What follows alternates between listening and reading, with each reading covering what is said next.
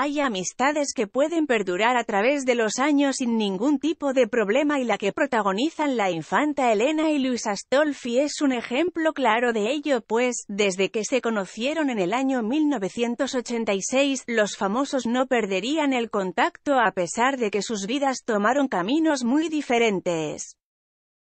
algo que uniría a la hija de los entonces reyes de España y a Astolfi sería su pasión por los caballos, ya que tanto él como la infanta disfrutan el pasar tiempo con los equinos, una práctica que haría crecer los rumores de un posible romance entre ambos.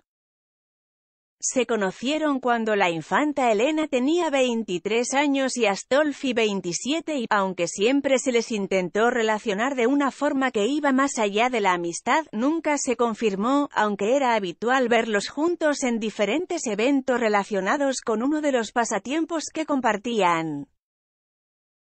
Recientemente, se les vería compartiendo de nuevo como lo hacían hace tantos años, lo que traería de vuelta aquellos rumores de la prensa sobre una posible relación a escondidas entre los famosos pero es algo que nadie ha podido confirmar o negar.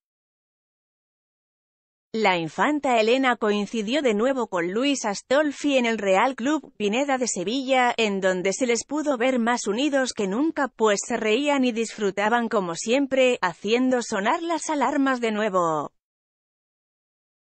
Se ha comentado que como Astolfi no gustaba de la atención de los medios, decidió apartarse de la vida de la hija de quien fuera el rey de España para proceder a formar una familia casándose con Isabel Flórez con quien tendrían a su hija Marina. Aunque después la pareja diera fin a su relación en el año 2012.